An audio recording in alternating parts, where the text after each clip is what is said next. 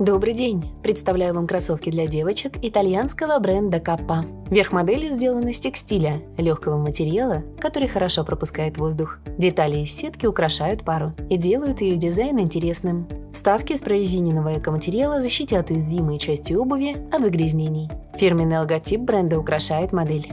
Мягкие вороты и язычок поддержат щиколотку и воспрепятствуют натиранию. Шнуровка регулирует посадку на ноге. Придерживайте пару за петельку, чтобы обуться быстрее.